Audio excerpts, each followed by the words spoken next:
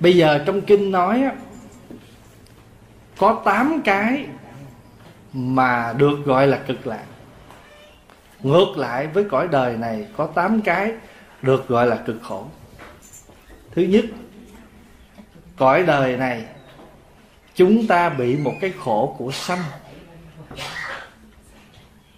Rất hiếm người nào sanh ra đời mà không làm cho mẹ mình đau đớn hiếm lắm.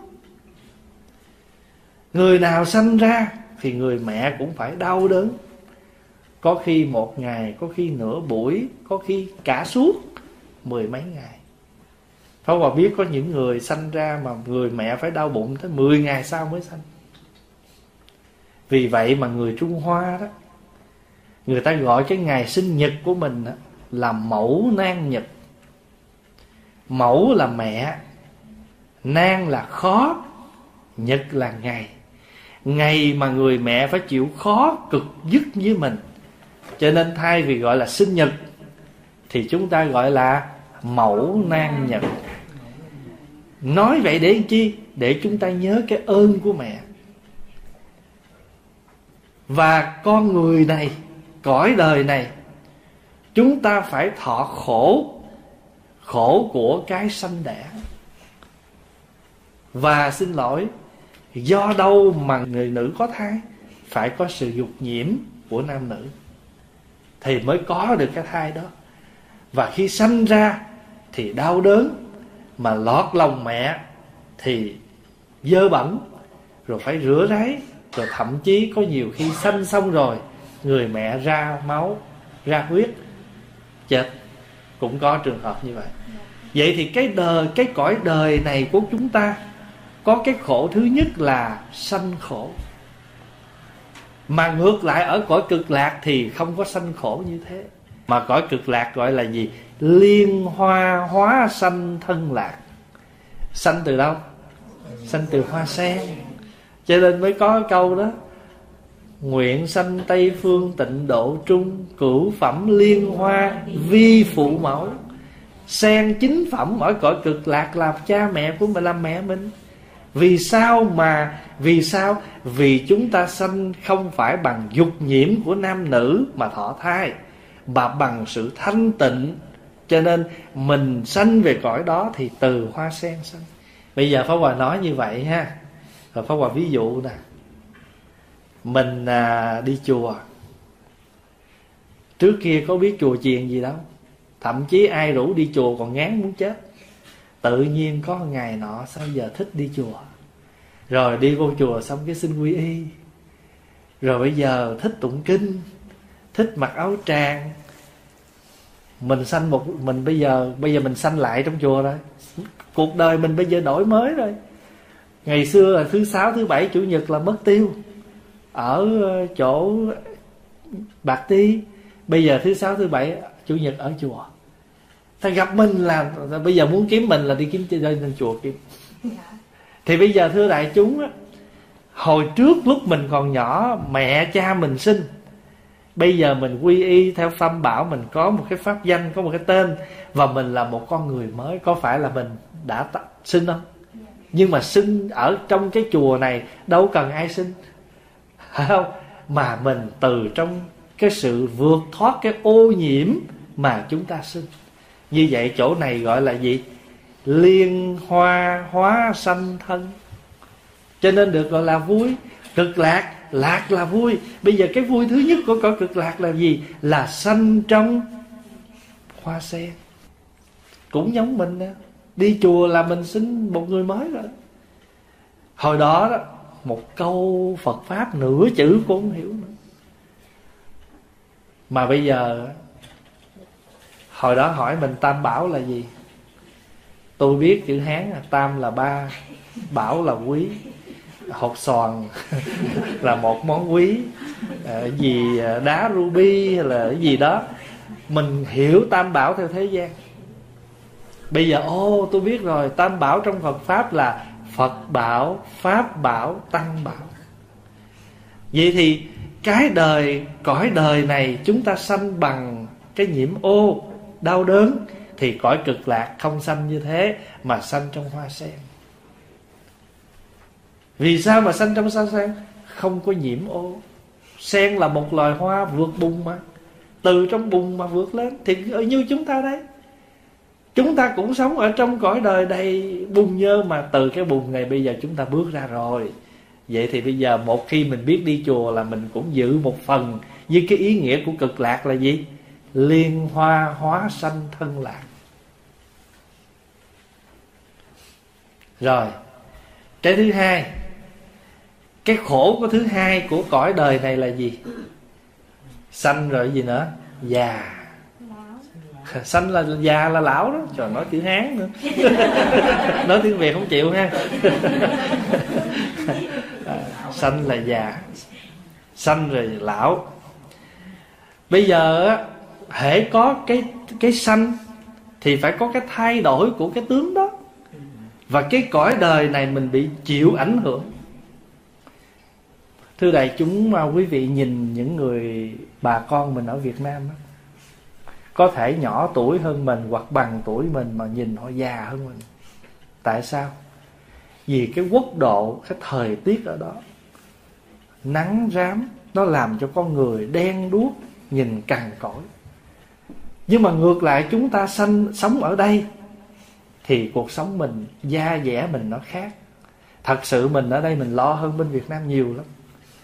Ở việt nam á nếu có lo đi ít thôi lo một vài bill thôi ở đó mình lo nhiều bill lắm.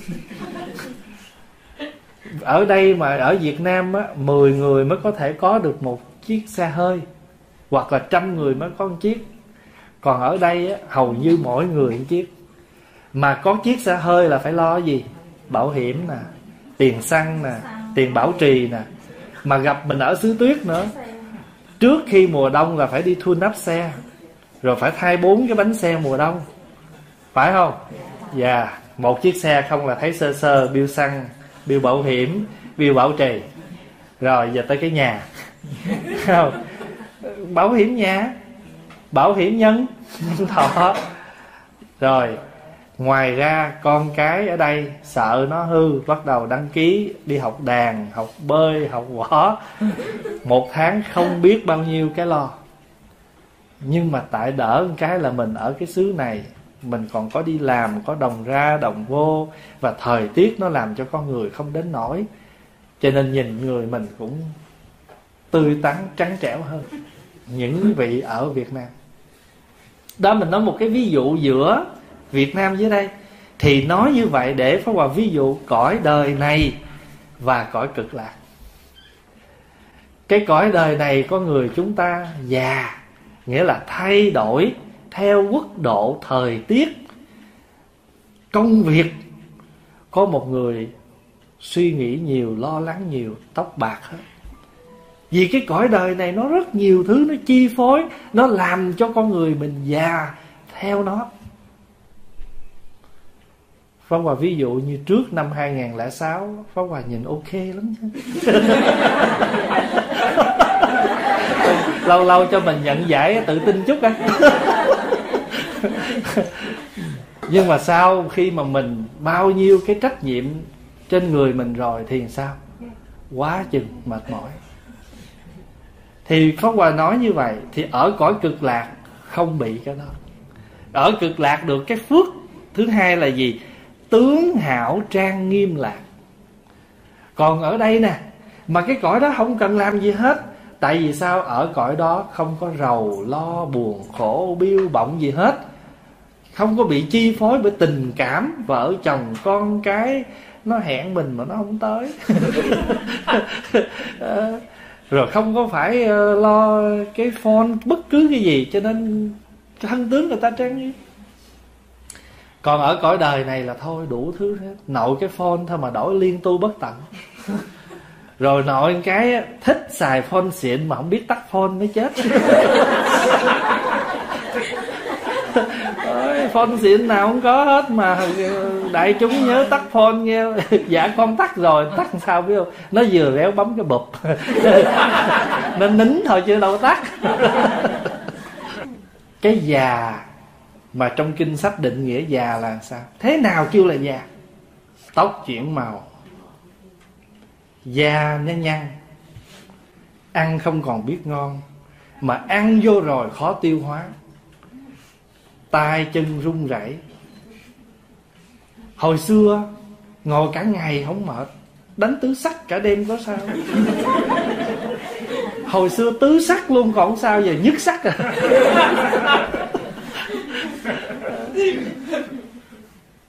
Tự nhiên mình thấy mình mệt mỏi. Thì trong kinh sách định nghĩa thế nào là già? Từ tóc nha. Tóc đổi màu, mắt mờ, da nhăn, răng rụng, ăn không ngon, ăn không tiêu. Gối mỏi, tai rung, đủ thứ hết. Đó là hiện tướng của già. Bây giờ quý vị để ý coi. Sức khỏe của mình mỗi năm là mỗi xuống dốc mỗi năm là mỗi xuống dốc, chứ đừng có nói là mình nói như vậy là nói có một cái khoảng cách, một cái chu kỳ là một năm đó. chứ nhiều khi tháng trước, tháng sau là mình đã thấy khác rồi. Thậm chí có những người đang khỏe sau một cái cơn bệnh ruột thừa, ruột dư gì đó, đi vô một ca mổ ra là sức khỏe nó nó yếu liền.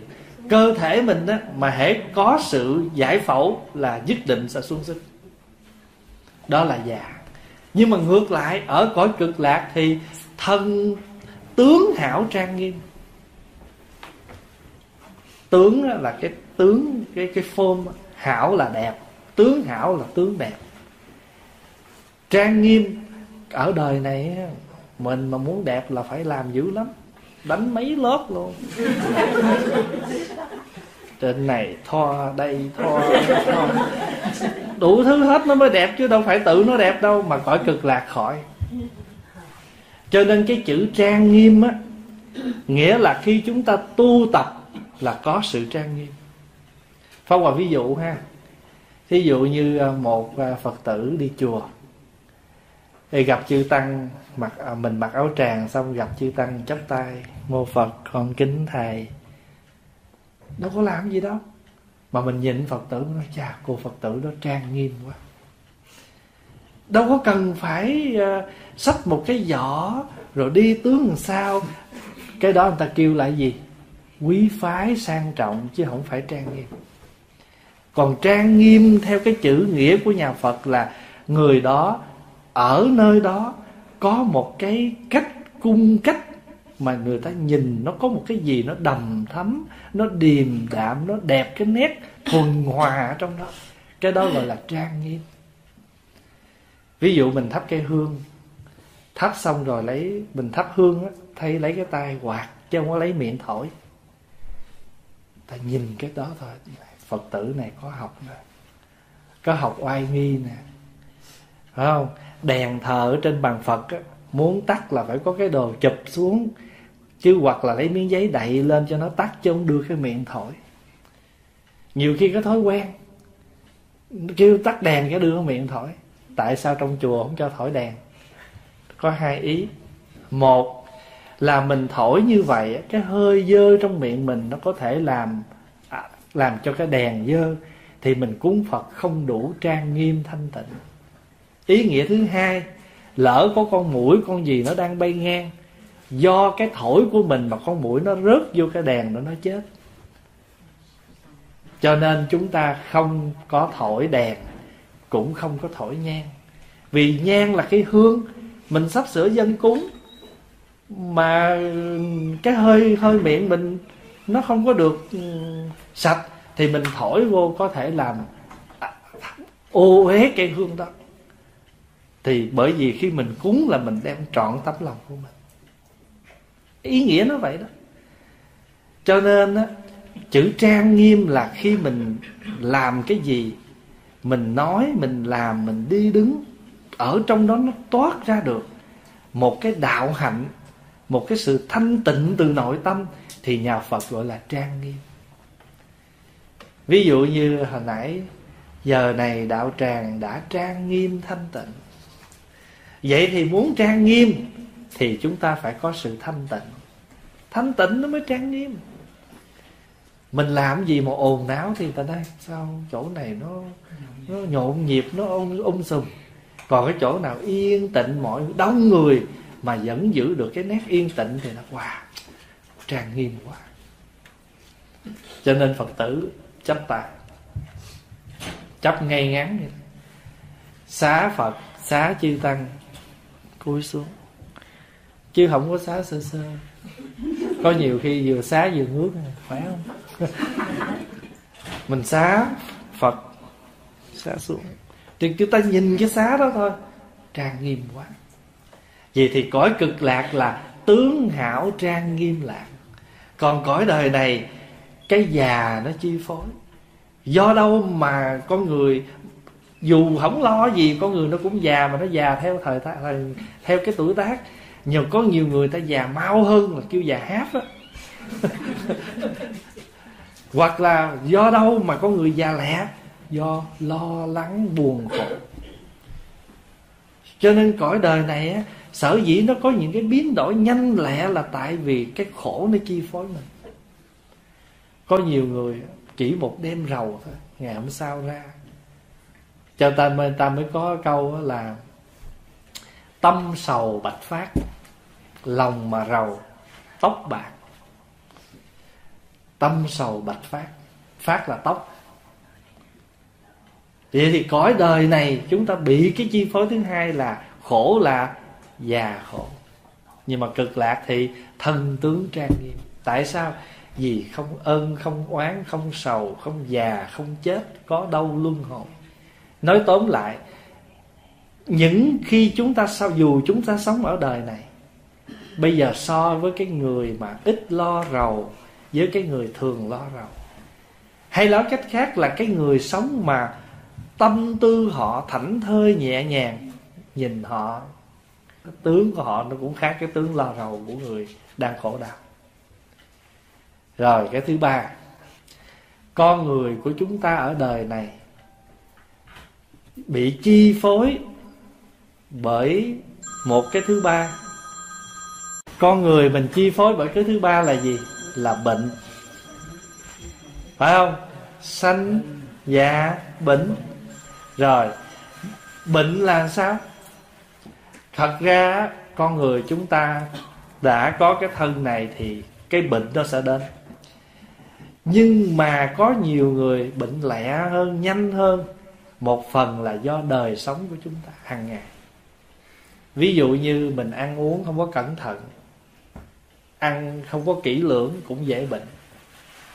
Rồi, và hiện đời này vì con người vì muốn đáp ứng những nhu cầu, cho nên họ xài nhiều cái hóa chất hơn. Ví dụ ngày xưa mình ăn trái cây chín cây nhiều, bây giờ mình ăn toàn là trái cây gì? Có thuốc, có hóa chất. Tại vì con người càng đông, tiêu thụ càng lớn thì cây nào mà nó mọc cho kịp thì buộc lòng người ta phải bỏ thuốc.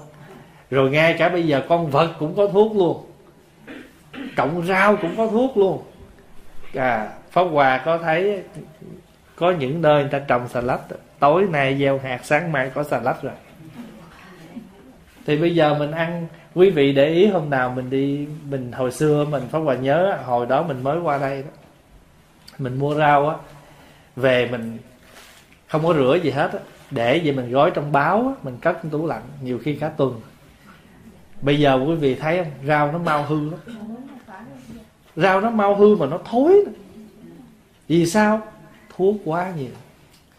Thì quý vị cứ tưởng tượng những cái chất đó mà nó vô trong cái ruột của mình, cái bao tử của mình, thì sao đây? Đó là chưa nói người ta nuôi heo, nuôi gà, toàn là ăn hóa chất. Rồi mình mua về mình đâu có ăn liền đâu. Họ làm ở trong hãng á, họ khi nuôi là đã hóa chất, phải không? Rồi hãng đem về cắt thịt gì đó, ướp hóa chất lần thứ hai, bỏ freezer rồi đem ra bán. Bán mà hôm nào nó sale là mình đi ra mình hốt. Hốt về cả tủ vậy đó. Mình đâu có ăn liền trong vòng tuần lễ ăn 10 cái cục đó đâu. Ăn mấy tháng trời. Rồi để trong freezer là đã một quá trình rồi, phải không? Rồi ngày mai ăn là tối nay xả đá. Đi làm về tối chiều bắt đầu, cái đó nó mới tan đá. Thì quý vị tưởng tượng nguyên một cái buổi chiều mà nó xả đá thì bắt đầu nó đã có vi khuẩn rồi. Rồi mình nấu xong rồi, mình không có thời giờ, mình nấu một lần ăn tuần.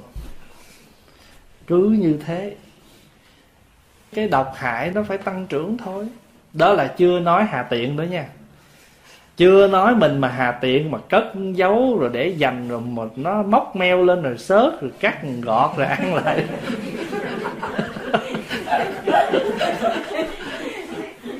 Mình nói, như vậy thì cái bệnh của cõi đời này, bệnh là căn bản rồi đó.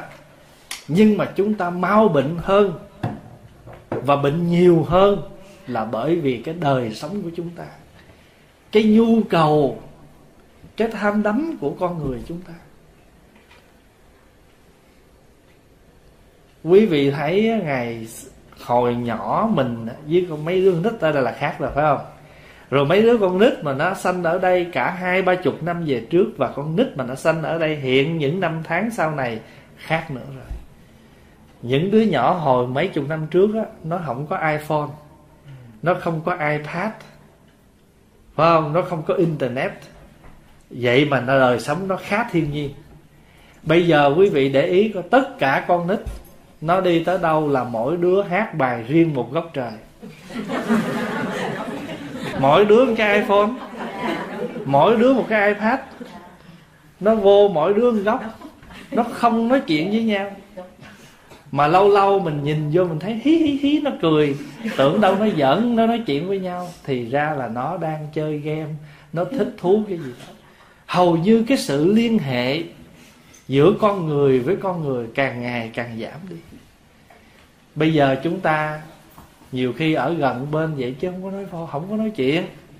Muốn cái gì là send message. Ổng ở trên lầu mình ở dưới bấm xuống ăn cơm ông. Ổng nhắn xuống ok rồi xong. Khỏi kêu. Không? Thành thử ra cái sự liên hệ giữa con người với con người mình cũng ít rồi. Pháp Hòa đi uh, giảng cũng nhiều cái gì thì Pháp Hòa đi những cái chuyến đi mà gọi là công cộng. Bây giờ quý vị ra phi trường, quý vị ngồi coi. Không ai nói chuyện với ai hết. Vì người nào cũng có một cái phone hết. Và người nào ngồi xuống rồi là bắt đầu thế giới của mình nó nằm trên bàn tay của mình.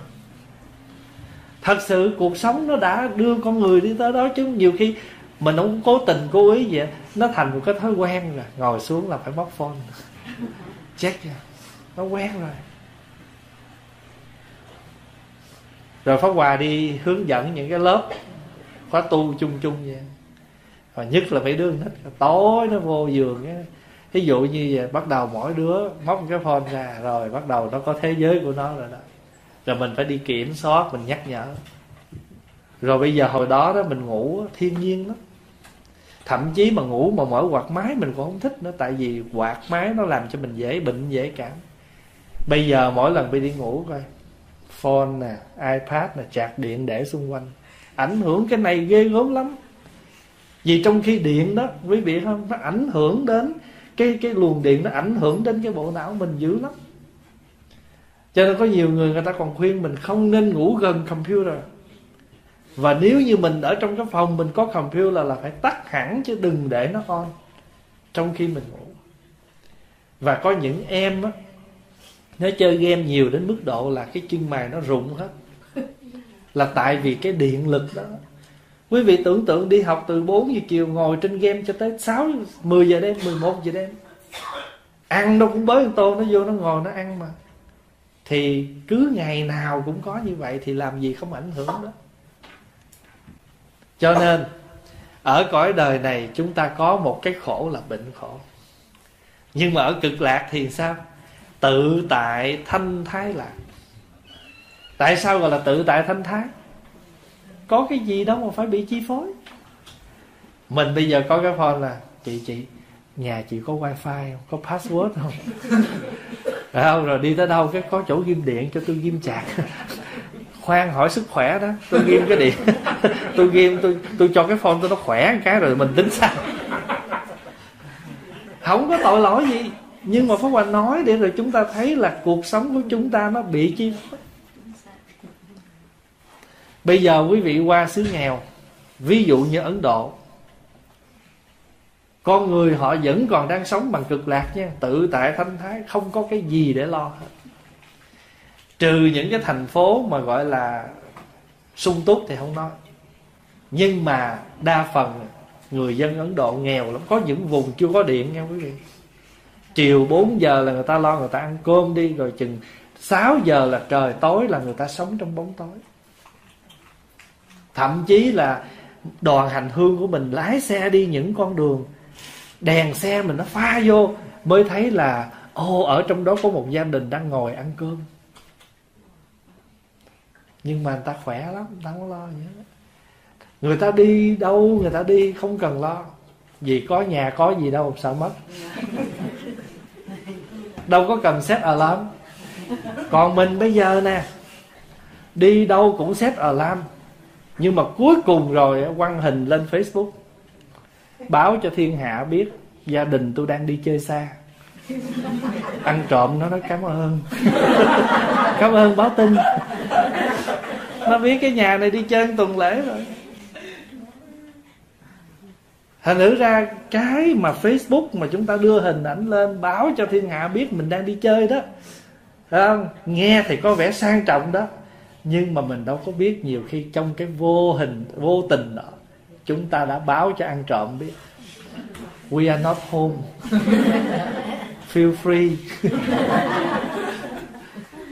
Vậy thì cõi đời này, chúng ta bị một cái bệnh làm khổ mình bệnh nó nhiều thứ nha. Bệnh thân bệnh tâm bệnh nghiệp. Bệnh thân nè. Bắt buộc phải có rồi. Bệnh tâm có không? Có. Stress khủng khiếp. Quý vị biết cái mùa lễ này nè. Đừng có nghĩ là mùa lễ này là thiên hạ exciting vui vẻ nha. Có rất nhiều người bị stress. Stress là tại vì cuối năm rồi mình phải thanh toán một số nợ bill bọng không có tiền. Job không có việc làm không có. Stress là vì quá nhiều bạn bè hòa cáp. Rồi mình phải lo. Stress là vì người ta vui sai với bè bạn người thân, mình cô đơn, lonely một mình. Nhất là những người độc thân, họ không có tu tập thì rất là dễ bị stress, như em đây alo. Trời ơi tối 24 là người ta đi hết trơn. thầy. Cũng là bạn bè tới con đó ổng còn đông hơn nữa. Nhà con đâu có nhiều rồi thầy là nhiều lắm á. Thì thưa đại chúng là bệnh nó có ba dạng. Bệnh thân bệnh tâm bệnh nghiệp thì cõi đời này chúng ta chi phối bộ một cái gọi là bệnh đó. Nhưng mà bù lại cõi cực lạc không bị cái bệnh này. Vì sao? Vì tự tại thâm thái lạc. Cho nên được gọi là cực lạc. Thí dụ cõi đó, là bồ tát bất thối là bạn lữ. Nghĩa là các vị bồ tát không còn thối chuyển trên đường tu làm bạn của mình. Còn ở đời này bất thối bồ tát bạn lữ ít lắm đừng nói nghe, tặng quà mà không tương ưng cái tiền mà họ tặng mình, họ cũng nói mình keo nữa đó. Cho nên là họ tặng mình cái món hàng đó, mình phải biết cái giá trị của món hàng đó rồi mai mốt tới phiên họ, mình phải tặng tương đương chứ không là người ta quánh giá. Ở cõi đó, ta không có phải chuyện à, thù tạc giảng lai, mời mọc ăn uống, bao bọc với nhau. Còn cõi đời này bao làm sang làm sọp. Nó mau xẹp. Bao nó năm lần mà nó chẳng bao mình lần nào là bắt đầu rồi đó. Xài không được. Thí dụ vậy ha. Rồi chưa nói gì nữa. Cõi đời này có những cái phong tục là gì? Vô ăn chia bill ăn trăm nó hỏi bill muốn chia mấy lần? Khổ không? Vì sao? Vì cõi đời này còn thối chuyển lắm. Thối chuyển là gì? Lui sụp tâm tánh phải thù tạc vãng lai. Người ta đối với mình như vậy, mình không đối lại là bắt đầu mất bạn. Rồi sợ người ta cười, sợ người ta nói đủ kiểu hết. Cho nên thối chuyện cõi đời này khá khá nhiều. Nhưng mà ở trên đó đó, không có cái chuyện mời mọc vãng lai, thù tạc gì hết. Cho nên khỏi lo. Như vậy, hôm nào mà chúng ta sống, chúng ta được quen biết những người bạn bất thối mình có buồn, mình muốn nghỉ đi chùa. Người ta vẫn khuyên mình, trở về tu tập. Chuyện phiền não bạn bè, người này người kia, đó là chuyện bình thường của thế gian. Tại sao mình lại thối chuyển bằng những cái chuyện như vậy? Đó là bất thối bồ tát. Đúng rồi, chị ở nhà đi, đừng thèm tới đó nữa đi chua phiền não quá đi, chi?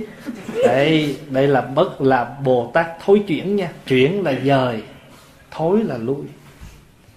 Họ dời mình từ đây qua đây rồi họ lui mình mất tiêu. Cho nên ở đời này, quý vị để ý, đừng có nói là bạn bè là ba con ruột thịt với nhau. Cũng dễ buồn nhau vậy chỉ cần xê xích một chút. Nói nói chuyện mà sai một chữ họ cũng buồn mình. À. hoặc là lỡ mình không thấy mình không chào họ họ cũng buồn mình. Đủ thứ hết. Sanh lão bệnh phải không?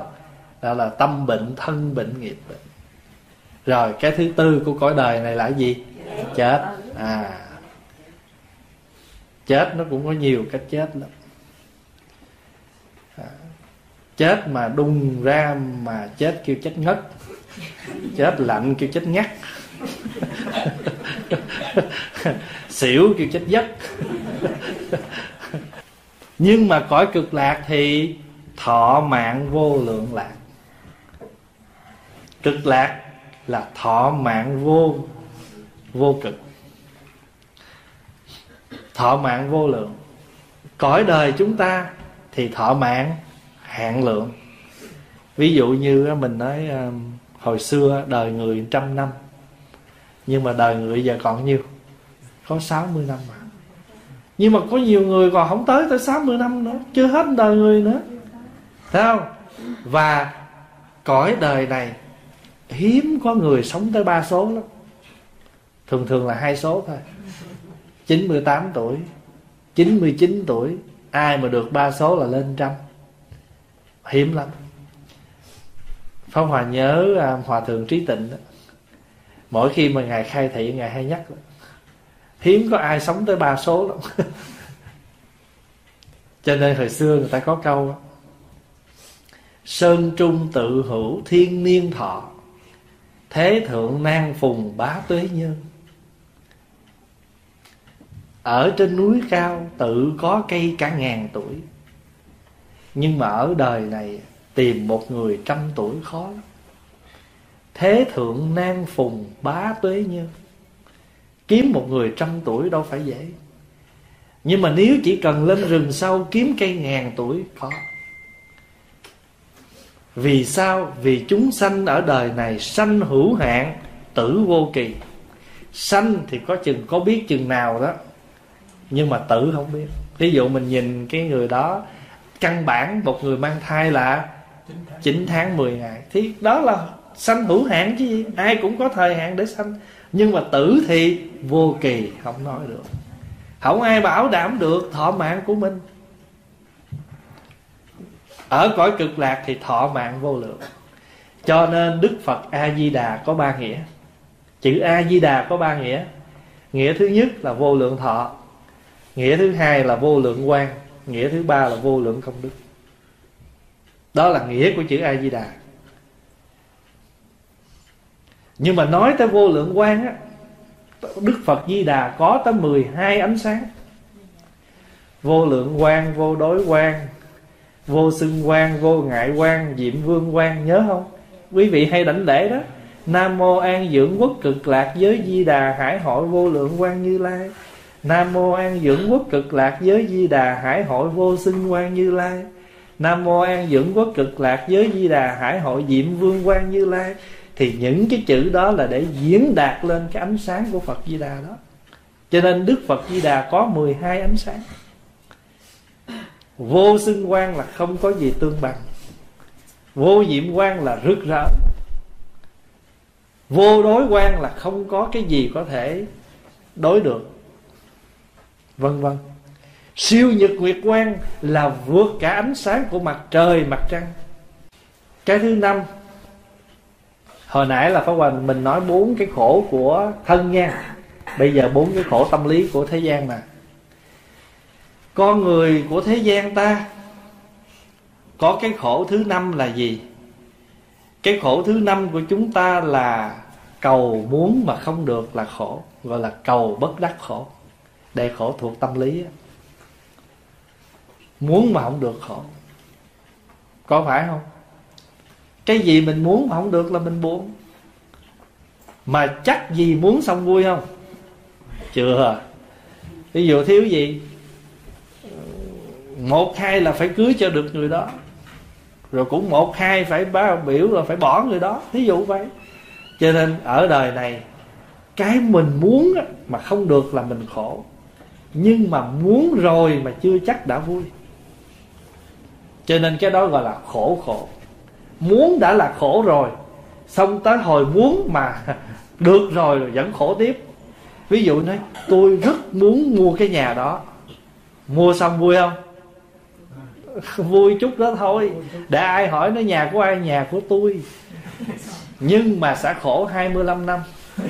Trả mortgage rồi còn gì nữa? Phải mua sắm cho nó tương xứng với cái nhà đó. Có thể đồ cũ của nhà bưng qua sàn được nữa. Nhỏ quá. Ví dụ vậy. Nhưng mà ngược lại cực lạc làm sao?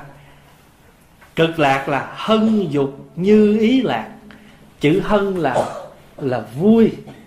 Chữ dục là muốn. Hân dục nghĩa là, như ý nghĩa là mình được toại nguyện những cái muốn mà muốn trong cái tịnh lạc, trong cái hân hoan của mình. Mà cõi đời này muốn không được là khổ. Như đâu dừng ngay đó, tiếp nói. Thí dụ bây giờ mình có con, không có con khổ lắm, buồn. Con đứa cho hữu hỷ. Nhưng mà khi mà có đứa con rồi là mình khổ, chăm sóc nó từ lúc nó nhỏ cho đến khi nó 13 khi nó bước sang tuổi 13 là cái khổ chăm sóc hết rồi. Bây giờ cái khổ gì? Lo lắng. Không biết nó chơi với ai, nó quen với ai. Rồi mình mong cho nó học thành tài, nó có vợ, có chồng cho mình yên. Chắc yên không? Không. Nửa đêm mà thấy điện thoại nó là rầu đó, không biết chuyện gì nữa đây. Đó, mà bây giờ mình có một đứa con, mình giữ con cho nó mà mình không giữ đứa thứ hai, nó buồn và đứa thứ hai mình không mình giữ xong mà đứa thứ ba nó sanh mình không giữ nó buồn. Cho nên cái mình muốn thì được rồi đó. Nhưng mà sau đó rất nhiều cái chi tiết sau cái muốn đó của mình. Khổ lắm chứ đâu. Thầy trụ trì thầy than vào hoài. À, thầy lâu lâu cái ờ, sao giấy tờ nó đòi này đòi kia? Ở ngoài à, cái, cái kiểu mấy đất mới. Pháp Hòa đó thầy ơi, Thầy muốn cái gì ở xứ này? Người ta biểu á, Ở đây là cái xứ luật. Cái xứ của mình đây là xứ luật. Chứ nó không, Luật thì nhiều mà rừng thì ít. Có nhiều xứ rừng, nhiều mà luật ít. Còn ở xứ này là rừng ít mà, luật nhiều. Nó có hai loại permit sau khi xây chùa xong cái permit thứ nhất là cái permit về building. Cái permit thứ hai là cái permit sinh hoạt. Mình xây xong cái chùa, nó vô nó kiểm từng chi tiết cho cái permit đó. Nhưng mà không cho sinh hoạt là vì chưa có hệ thống cứu quả mà muốn được cái giấy phép sinh hoạt là phải chịu tốn tiền để mà mướn cái sở cứu hỏa tới. Cái cái họ gắn hết cái alarm system cho cái building đó. Mà cái đó là tối ưu quan trọng. Vì mình xây xong mình không cho sinh hoạt rồi xây để làm gì? Cho nên mình mình không hà tiện xây cái chùa bạc triệu không hà tiện. Cuối cùng hà tiện năm ngàn gắn là làm thôi. Thì không được. Cái luật nó là vậy đó. Nơi nào có người ở dù một đêm cũng phải có vấn đề an toàn. Không có là không được cho nên, ở cõi kia, người ta không có muốn cái đó. Tại vì sao? Vì bất cứ nơi nào người ta ở cũng đều là thanh tịnh một màu. Còn ở đây là mình muốn cái gì là phải làm cái đó. Mà làm á, cái này nó xanh là cái kia nó xanh cái này xanh cái kia xanh chứ đâu phải bình thường. Cầu muốn mà không được là khổ nhưng mà muốn rồi mà được cũng chưa chắc đã muốn. Ví dụ như nói tôi muốn qua mỹ, tôi muốn qua canada, qua được tới đây rồi, vui con xong cái muốn qua thôi. Giờ qua làm gì? Không biết tiếng anh, thì phải đi học. Không có việc làm là phải đi xin. Vân vân, cho nên chắc gì qua đây đã là hết khổ đâu. Cho nên nó tiếp diễn đó là cái khổ thứ sáu của cõi đời là cầu muốn không được khổ. Cái khổ thứ bảy của cuộc đời là gì? Thương yêu mà xa lìa khổ. Cái gì mình thích mà nó mất thì mình khổ. Trời ơi đừng có nói chi là con người nghe của cải thôi. Nhiều khi mình à, đi vô trong nhà vệ sinh lúc mình rửa tay mình lột mình làm xong đi ra quên vừa đi ra thổi thôi, chừng mấy phút sau quay lại, nó đi lên cõi trên ở. Trời ơi, tức muốn chết. Nó sao bữa nay vía phật mà tôi xui quá. Đi chùa niệm phật từ sáng giờ phật không phù hộ. Cái gì mình thích mà mình phải xa lìa là khổ, gọi là ái biệt ly khổ. Tại sao? Tại sao trong này có cái khổ? Vì chúng ta bị một cái then chốt là gì? Là ái. Ái nghĩa là gì? Yêu thích. Mà cái gì mình yêu thích là nó có đối tượng. Mình là người yêu, người kia là được mình yêu. Hay nói cách khác là người đó là người yêu của mình. Hãy cái gì mình yêu là phải của mình nha. Mà cái gì còn cái của mình á là mình khổ. Nhưng mà thật sự không có gì của mình hết á. Cái nhà cũng phải của mình, vợ cũng phải của mình, con cũng phải của mình vì mình ái nó quá cho nên mình nghĩ nó là của mình. Thí dụ mình có một thằng con trai duy nhất là mình nghĩ nó là của mình, thương nó mà. Khi nó có, nó không có vợ, mình rầu lắm. Mình muốn nó có vợ. Nhưng khi nó có vợ xong rồi, khi nó có vợ xong rồi, thì mình lại ganh với cái người dâu. Tại vì con dâu bây giờ phần tình cảm của mình với đứa con mẹ chồng nàng dâu bắt đầu có chuyện. Vì mình có đứa con duy nhất cho mấy người mà có con duy nhất mà thiếu sự tu tập thiếu sự bao dung nhìn xa thấy rộng là lúc nào cũng sẽ bị cái đó. Vì mình nghĩ mình mất một phần tình cảm. Mà cái chuyện đó làm sao được? Hồi xưa nó ở với mình đi làm về nó, nó nó lúc nào nó cũng có mình nó lo. Bây giờ mình đi kiếm người thứ hai thì nó phải chi phối thời gian và công việc chứ. Tại sao mình lại muốn nó y chang như cũ nữa? Không hiểu được điều đó là bắt đầu có chuyện. Cho nên từ đó cái bây giờ mình ái nó rồi mà mình cảm giác là nó biệt ly mình cho nên mình khổ. Mà mình thiếu cái sự nhìn rộng là hai người là thời gian nó phải chi phối khác. Hai người là nó phải rồi mai muốn nó có con tới ba người là nó phải chi phí khác. Mà nó, nó có ra gia đình nó ra riêng thì nó phải có chi phí khác. Mình không hiểu cái chỗ đó mình cứ thấy phần của mình thôi cho nên cái gì là của mình thì cái đó mình khổ. Vì mình đặt để phải là của mình. Ở đời này không có gì của mình hết. Cái xe mình mua mà chưa trả hết nợ cũng chưa chắc là của mình. Xin lỗi, thậm chí vợ mình cưới cũng chưa chắc của mình. À, chồng mình đó mà cũng chưa chắc là của mình. Chứ không có gì ở đời này của mình nhưng mình chắc nó là cái của mình cho nên có chữ ái trong đó, có đối tượng. Chứ mà ở cõi cực lạc thì gì? Hải chúng thường tụ lạc. Chúng ta đông như biển vậy đó, gọi là hải chúng. Quy tụ lại nhưng mà vui, không có làm khổ nhau. Ví dụ như bây giờ đại chúng tập hợp về chùa đây, nguyên ngày nè. Đã, cái này là hải chúng tụ lạc nè. Không có dành thầy tôi, chỗ này của tôi cái mỏ này của tôi. Của chùa. Bữa nay anh tới. Đúng duyên, anh lên, anh thỉnh cái mỏ đó. Cái mỏ này tôi thỉnh, tôi thích vừa tay tôi. Bữa nay tới tôi tôi lấy cái mỏ này ra. Tôi tụng xong tôi đem cất cái mỏ. Người khác tới cứ lấy mỏ của họ ra tụng. Hôm qua chú ở trung chánh, chú nói, thầy thầy, con xài à, mỏ nhỏ được không? Nói con có cái mỏ rồi con muốn xài mỏ lớn cái thứ bảy là ái biệt ly. Hồi nãy là cầu bất đắc, bây giờ là ái biệt ly. Cái thứ sáu là ái biệt ly. Vì chúng ta có cái cái dính mắt, cho nên ở cõi cực lạc thì không như vậy. Hải chúng thường tụ lạc. Bởi vì không có cái gì mình dính hết. Rồi bây giờ cái thứ bảy cõi đời này là gì? Thương mà xa lìa nhưng mà cái thứ cái ngược lại của nó là gì? Ghét mà cứ gặp gọi là oán tắng hội khổ. À, cuộc đời mình bị chi phối cái thứ bảy này nè. Mà cái này của bộ hơi khá.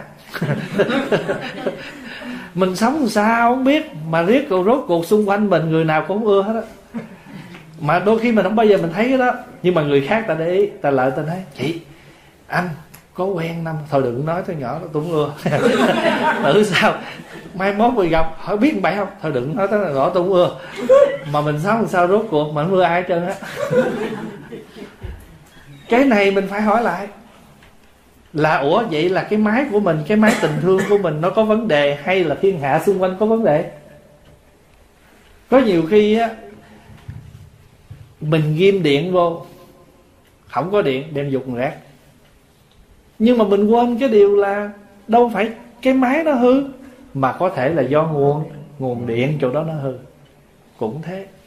Coi chừng cái nguồn tình thương của mình nó bị xâm thiên ron chứ tại sao không lẽ người ta xung quanh ta sống dở đến mức độ là đến với mình cái là ta trở thành người thấy ghét sao? Cái này mình phải quán lại. Oán tắng hội tôi không ưa nó mà sao tôi gặp hoài. Rồi mình cứ đi tha, mình mình đi khoe với người này người kia đó. Người ta nghe mình riết, ta ớn ta nói thôi ôi, cái chị này ai chịu cũng ưa hết, thôi tôi cũng né chị đi, chứ bữa nào tới phiên tôi chị ghét được người một thì chỉ ghét người hai, mà chỉ ghét năm người thì tôi chỉ là người thứ sáu. Có ngày cho quán tăng hội nhưng mà cõi cực lạc thì không như vậy, bởi vì sao? Cõi cực lạc là thượng thiện câu hội lạc thượng thiện câu hỏi là gì? Toàn là những người có cái tâm thượng thiện, không có cái tâm nhỏ. Mình còn giận người ta là tại vì cái tâm mình nó còn nhỏ nhất. Nó còn thiếu cái lượng từ bi. Nó thiếu cái tâm bao dung. Chứ còn nếu mà mình đủ cái tâm bao dung á, thí dụ bây giờ người đó, người ta nhỏ mà nó hỗn đi. Mình trách nó, nhỏ mà hỗn với tôi ghét nếu người có tâm bao dung gì, nó nhỏ, nó không biết, nó hỗn. Mình là người lớn, không có trách nó. Nếu mà mình ấy, mình dạy nó. Đó, cái đó là cái tâm bao dung. Thấy không? Rồi ví dụ như giờ cái đứa kia nó mới đi chùa mà được thầy thương hơn. Nó mới đi chùa mà nó biết nịnh mà không nó thương. Mình nghĩ khác nha. Thầy có lòng từ bi người mới tới thầy luôn luôn thầy gian tay, thầy tiếp nhận để cho họ quen dần với chùa mình lên cái tâm mình phóng ra. Thật sự nãy mình nghĩ vậy là được, nhưng mà thường lắm. Mình phóng ra rộng đi. Cái người đó, họ là mới nè. Hay là thậm chí mình nói, cái người đó còn trẻ, họ có thể lo được cho chùa thôi mừng chùa có thêm được một người trẻ để người ta lo cho chùa. Ví dụ vậy đó. Nhiều khi cái đứa con mà nó hay làm khổ cha mẹ mà cha mẹ lại quan tâm nó nhiều anh chị thấy nóng ruột. Con đưa tiền cho má nhiêu má cũng cho cái thằng đó hết nó, nó phá hư nó phá của. Nhưng mà nếu mình làm cha mẹ mình sẽ nghĩ khác.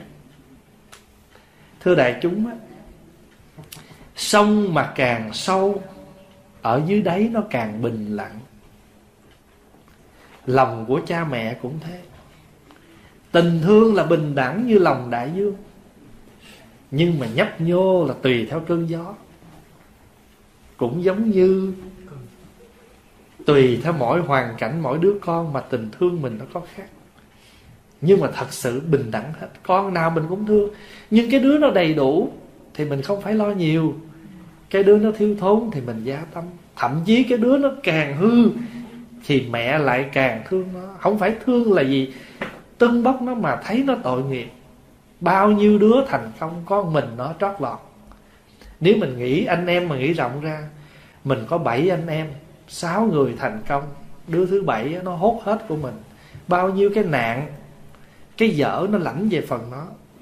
Mình thương nó. Mà nhiều khi mình không giúp được cái gì, nhưng mà tình thương mình trải ra cho nó thì tự nhiên nó nó nó diệt được cái chữ oán, cái chữ ghét ở trong tâm ta. Thật sự ra, thí dụ mình, cái người đó ta làm chuyện thấy ghét, mình ghét, không sao, đó, nhưng mà cái đó cái đó là bình thường. Mình hãy tu sao mà đưa cái bình thường này lên cái phi thường. Phi thường là người thấy ghét mà mình không ghét. Không thương cũng không sao, nhưng đừng ghét.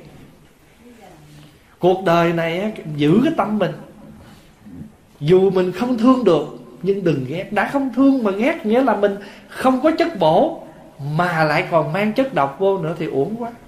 Thí dụ như đấy tôi không khỏe, nhưng tôi không bệnh, tôi bình thường là tôi vui. Tôi không giàu, nhưng tôi không nghèo, tôi bình thường đủ sống là tôi vui. Tâm ta cũng thế. Tôi không thương được người đó, nhưng mà may quá, tôi bình thường với người đó tôi không ghét họ. Tôi gặp họ, tôi vẫn chào, nhưng tôi bình thường. Ráng giữ được cái đó là mừng rồi đó. Còn nếu thương được thì quá tốt. Còn không thương được, cứ bình thường. Ví dụ như á, mình không có của để cho ai, nhưng đừng ăn cắp. Đã không cho mà còn ăn cắp của người ta thì tệ rồi. Còn nếu mình hay hơn nữa, cho. Còn lỡ không có cho, đừng lấy của người ta. Thế thôi vậy thì nếu mà mình sống được như vậy đó, làm tâm của mình là cái tâm thượng thiện. Cho nên ở cõi cực lạc ta nói là sao? Toàn là các bậc thượng thiện nhân câu hội nhất xứ. Toàn là sự có mặt của các bậc thượng thiện nhân. Ví dụ như hôm nay, ở đây cả ngày, nhường với nhau cái chỗ ngồi nhường nhau một cái món ăn. Thí dụ tới phiên người mà còn có một tô phở mà hai người, con không sao, con ăn hoài, bác dùng đi. Con ăn cái gì cũng được hết. Thành nữa mình, nếu mình sống được như vậy đó, là mình giải được cái oán, cái trách của người mà tự nhiên nó làm cho cái tâm mình sống đẹp. Thật ra mình trách người ta là chuyện bình thường, không ai nói gì được mình cả có cái điều là mình hãy đưa cái tâm mình tới cái chỗ thượng thiện cao chút là vượt cái bình thường. Là người đó như vậy mà mình vẫn có thể ôm ấp được. Thì cực lạc thì không thế. Còn đây là cực khổ nè chính mình sống vậy cho nên lúc nào tâm mình cũng có vấn đề hết. Thưa đại chúng á, ráng sao mỗi ngày mình nghiệm lại hôm nay tâm tôi có buồn ghét ai không? Nếu không, tôi hân hoan cho ngày này, vì tôi đang sống trong cảnh cực lạc. Cuộc đời này coi vậy chứ giữ tâm mà không ghét ai khó lắm. Thôi giờ mỗi ngày đi ha. Mỗi ngày trước khi đi ngủ nghiệm lại ngày hôm nay tôi có thù ghét ai không? Nếu không, tôi mừng cho ngày này. Ngày mai, sáng mở mắt ra thức dậy miễn mỉm miệng cười 24 giờ tinh khôi. Xin nguyện sống trọn vẹn, mắt thương nhìn cuộc đời. Tôi sẽ nhìn cuộc đời bằng con mắt thương. Để ngày hôm nay tôi ráng thương. Có nhiều khi mình ráng dữ lắm. Ráng ăn, ráng ngủ, ráng làm, ráng đi, ráng tu. Mà thương là nhưng không có ráng. Cái gì cũng có ráng mà không có ráng thương có nhiều khi mình nghe lời phật dạy. Thôi kệ, phật nói vậy để tôi ráng thương thương hồi mỏi mệt quá. Bị tôi gồng quá. Tôi ráng thương nó quá. Tu sao mà mình thương được cái bình thường. Rồi, bây giờ cái cuối cùng ha. Cuộc đời này, cái cõi cõi đời này chúng ta có một cái khổ nữa. Cái cuối cùng là ngủ ấm xí thành. Ngủ ấm là cái gì? Sleep well. Ngủ ấm không phải là ngủ không lạnh. Chữ ngủ này là năm. Chữ ấm này là cái chất. Năm cái chất mà nó hỗn tà, hỗn hợp lại để có con người là sắc, thọ, tưởng, hành, thức. Trong bát nhã tâm kinh nói đó, cái này gọi là ngủ uẩn. Nó gom lại để duy trì con người. Ví dụ như cái thân xác mình là sắc cảm nhận vui buồn, nóng lạnh, thọ, tưởng tượng. Hồi nãy bác nó không biết còn đây không? Pháp Hòa xuống, cái Hòa ngồi, Cái bác nhìn Pháp Hòa ngồi, Cái bác chồm tới hỏi, Thầy có phải thầy Pháp Hòa không? Dạ, dạ phải. Trời ơi, Ở ngoài trẻ hơn trong phim. Như vậy là hôm nay trong phim Mình coi phim là mình tưởng. Phải không? Sắc Thọ, Tưởng. Hành là gì? Là sự vận hành liên tục. Thức là sự phân biệt. Vậy thì có phải rõ ràng năm cái này nó làm nên con người mình không? Mình có sắc thân, có cảm nhận, có tưởng tượng, có liên, có sự vận hành liên tục và nhìn gì là phân biệt ngay. Nhìn anh này, ồ, anh này nấu chè ngon nè. À chị kia nấu canh ngon nè cái thức nhìn gì là biết nấy. Phân biệt liền. Con người mình sống năm cái đó. Năm cái đó gọi là ngủ uẩn. Nhưng mà nếu năm cây này nó làm khổ mình, thì gọi là ngủ ấm. Cũng là nó. Nhưng mà hai trường hợp để xài chữ nó chỉ là một sự kết hợp để duy trì con người. Sắc, thọ, tưởng, hành, thức, chúng ta gọi là ngũ uẩn nhưng nếu chúng ta bị dính mắt đó, thay, nó thay đổi mình buồn, sắc diện mình thay đổi, cơ thể thay đổi, sắc tướng này thay đổi, buồn. Cái thọ mình nó không giống như mình muốn, cái tưởng mình nó không giống như mình nghĩ, buồn khổ. Nó chi phối mình, vui, buồn, thịnh suy. Cái này gọi là ngủ ấm xí thành. Thức khuya chừng vài ba hôm mà ăn chả giò chừng bữa mà ăn nhiều chút, thiếu ăn đồ mát là bắt đầu mụn nổi miệng đau, vân vân. Xí thành. Nhưng mà ở cõi cực lạc thì sao? Thân tâm tịch tịnh lạc. Thân và tâm này, chữ tịch là vắng lặng. Chữ tịch là vắng lặng. Tịnh là lắng trong. Lạc là niềm vui. Vì con người ở cõi cực lạc, người ta sống thân tâm, người ta lúc nào cũng ở trong cái trạng thái tĩnh lặng còn mình đó sao biết không? Thấy là exciting. Cho nên mình dễ bị dụ lắm.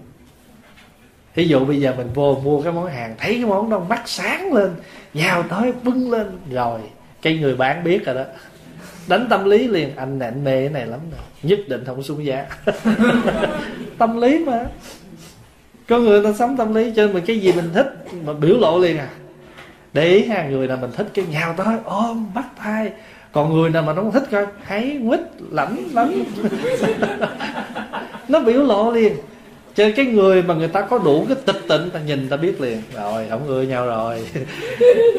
Còn thậm chí á, bình thường với nói về cái người đó là mình nói ờ bữa nay chị đi, anh đó đi đây, chị kia đi kia. Mà bữa nào mà giận nhau hỏi tới, không biết à tôi không biết à lúc này tôi biết đâu à rồi thằng anh giận em rồi vậy thì nói tóm lại, cực khổ của ta bà, của ta bà là sanh khổ, già khổ, bệnh khổ, chết khổ, muốn không được cũng khổ, thương mà xa lìa khổ, ghét mà gặp gỡ khổ, năm ấm thịnh suy khổ. Ngược lại, cõi cực lạc, liên hoa hóa thân lạc, tướng hảo trang nghiêm lạc, tự tại thanh thái lạc, thọ mạng vô lượng lạc hân dục như ý lạc thiên, à, thượng thiện câu hội lạc và thân tâm tịch tịnh lạc. Tám cái đó được gọi là cực lạc. Còn ngược lại tám cái này gọi là cực khổ cõi ta bà. Nói như vậy không phải đợi tới chết mới lên trên kia hưởng nha. Nếu chúng ta biết chuyển thì ngay ở đời này chín tám cái khổ này chúng ta chuyển nó thì chúng ta cũng có được niềm vui với nó. Ví dụ, sanh khổ mình không tránh được rồi. Vì chúng ta không tránh được, nhưng mà chúng ta biết nó. Vì biết được nó, cho nên sao? Mình không có khổ với nó. Và thậm chí, mình sống chuyển cái tâm. Cái tâm mà còn còn phiền muộn là tâm của bùn tâm vượt thoát là tâm của liên hoa. Cho nên phật ngồi hoa sen. Thật sự, đức phật không có ngồi trên hoa sen. Chứ đâu phải phật đi đâu cũng có hoa sen đỡ ngồi như phim tàu. Mình coi phải không phật ngồi vậy, đi đâu khói phun rồi. Đừng có tưởng phật kiểu đó nha. Phật bình thường. Nhưng mà trong phật có một cái là thân tâm tịch tịnh cho nên lời nói của ngài, hành động của ngài lúc nào cũng vượt những cái bùn nhơ mà người ta muốn biểu tượng cái đó. Cho nên người ta mới tạo cái tượng phật ngồi trên hoa sen, đứng trên hoa sen. Chứ không phải là ngày xưa phật thật sự đi đâu cũng có bông sen ngồi đó, bay bay vòng vòng vòng vậy đó. Và mình mình đang nhắm mắt vậy mình, cái phật xuất hiện, phật khói phun ra, phật nói, what do you want? mình hiểu phật như vậy là mình tội nghiệp cho phật. Khi nào tâm mình không còn dính khổ đau phiền muộn là vượt thoát. Cho nên á, hoa sen xanh là vậy đó. Không còn nhiễm ô của dục lạc. Cho nên hễ có dục có có dục theo thế gian á có ái dục theo thế gian là có sự khổ. Lạc thì chút đó nhưng mà cái khổ nó dây dưa còn ở cõi cực lạc á, thì người ta thật sự vui là vì người ta không có sanh nở như thế gian này, mà người ta hoa sen hoa sanh. Thì cũng giống như đó. Chúng ta ngồi đây, ai cũng đã từng một lần sanh của thế gian rồi. Nhưng khi mình hiểu đạo, mình liên hoa xanh ở trong chùa, bây giờ không có bị nhiễm ô gì nữa. Hết cho nên thưa đại chúng mình không vì ông năm, ông bảy, ông tám, ông mười mà đi chùa, thì ngày nay cũng không vì các ông đó mà mình bỏ chùa. Nghe đầu mình đâu phải vì họ đi. Hay nói cách khác vì không vì họ mà phát tâm tu. Mà nếu mà vì thấy chúng sanh khổ mà phát tâm tu, thì chúng sanh có làm khổ mình mình phải tu giữ nữa. Tại vì thấy không? Không tu là dính chùm khổ. Mình cũng là một chúng sanh khổ. Cho nên đặc biệt lắm bồ tát nghĩa là gì? Là những người những người chúng sanh như chúng ta, nhưng các ngài giác ngộ. Và lấy cái giác ngộ đó, giác ngộ lại cho chúng sanh, cho nên gọi là bồ tát thế thì chúng ta cũng là những chúng sanh khổ đây nè. Và chúng ta đang muốn vượt khổ. Còn nếu không thì chúng ta cộng khổ. Chúng ta là những người có nghiệp. Và chúng ta đang tu để chuyển nghiệp. Còn không thì chúng ta cộng cộng nghiệp thôi hết giờ rồi. Thưa đại chúng mà tối hôm nay à, được nhân duyên về đây thăm quý vị qua lời à, à, dạy của thầy trụ trì ở đây. Thật sự ra khi mà thầy dạy về đây thăm đại chúng pháp hòa cũng nói hai. Con không biết à thời tiết tốt thì đi. Rồi hôm nay thì à, rất là hoan hỷ là bởi vì đường rất là sạch. À, sau cái thời lễ trên à, trúc lâm thì mấy huynh đệ mới đi xuống đây à, và giờ này được gặp đại chúng và sau gọi như là một tiếng rưỡi sinh hoạt với nhau cảm ơn ờ, đại chúng nhất là quý bác hàng thượng tọa không? Đại đức ngồi dưới này với thượng tọa ngồi ở trên. À, đã à, chịu khó ngồi suốt ngày hôm nay cho tới giờ phút này. Mặc dù ngày mai quý vị còn phải đi làm thì nhân đây pháp hòa xin được à, kính chúc toàn thể đại chúng và gia đình à, cuối năm 2018 được nhiều niềm vui. Bước sang năm mới 2019 đầy nhiều niềm vui hơn nữa và nhất là sự tu tập của mình có nhiều tiến bộ. À, chỉ có sự tu tập mới có thể chuyển hóa từ cực khổ thành cực lạc mà thôi. Chúc đại chúng được chúng ta hồi nướng.